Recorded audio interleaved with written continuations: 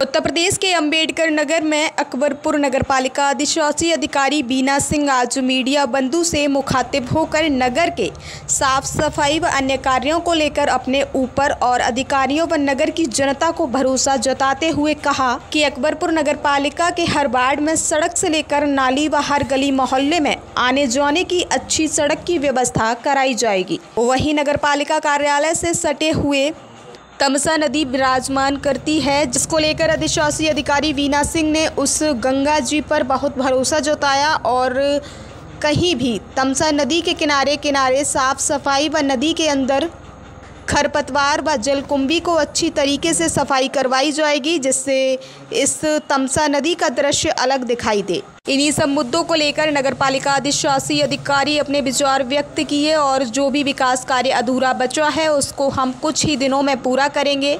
इतना ही नहीं नगर पालिका के हर वार्ड में निकला हुआ कूड़ा, कचरा इकट्ठा कर कूड़ा डंपिंग स्थल पर भेजा जाएगा। सफ़ाई तो हमारे यहाँ तीन पालियों में हो रही है। सुबह में झाड़ू, कूड़ा सड़कों की सफ़ाई की जाती है और सेकेंड हाफ़ में नालियों का विशेष रूप से अभियान चला करके इस समय बारिश का समय है, नमी के कारण रास्तों पे और नालियों में घास आ रही है। तो विशेष अभियान चला के उसकी सफ़ाई करवाई जा रही है। साथ ही जितने भी हमारे कमर्शियल एरिया है, वहाँ पे नाइट शिपिंग का भी कार्य चल रहा है और शहर से निकलने वाले सभी कूड़े का हम लोग निस्तारण भी उचित प्रकार से कर रहे हैं। डोर टू डोर कलेक्शन भी हो रहा है और सेग्रीगेटेड कूड़ा भी मांगा जा रहा है। इसके क्रम में हम लोग प्रचार प्रसार भी कर रहे हैं। हमारा शहर स्वच्छ सर्वेक्षण में प्रतिभाग भी कर रहा है।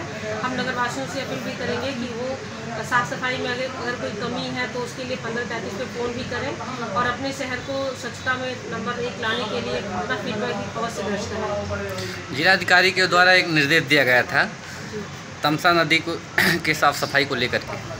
जो कि उसमें जलकुंभी की का भराव ज़्यादा है।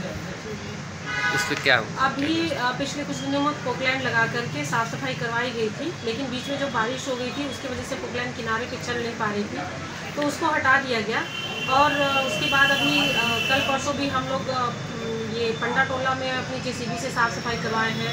दो तीन दिन से गायत्री मंदिर के पास थोड़ी जलकुंभी हो गई थी तो वहाँ भी जेसीबी और आदमी लगा करके साफ़ सफ़ाई किया गया है। कुछ जैसे ही हमें थोड़ा समय मिलता है हम लोग नदी पे भरपूर ध्यान देते हैं और उसकी साफ़ सफ़ाई नियमित रूप से कराने का प्रयास कर रहे हैं। कस्बे में रास्ते को लेकर के मैडम तमाम प्रकार की शिकायतें आ रही हैं। देखिए पिछली बोर्ड की बैठक में इन सभी बातों पे बहुत गहनता से विचार किया गया और जितनी भी हमारी सड़कें थी उनका प्रस्ताव तैयार करके और उसको प्रेषित किया गया है। जैसे ही प्रस्ताव हमारा स्वीकृत हो जाएगा उस पर कार्य आगे बढ़ेगा। जी।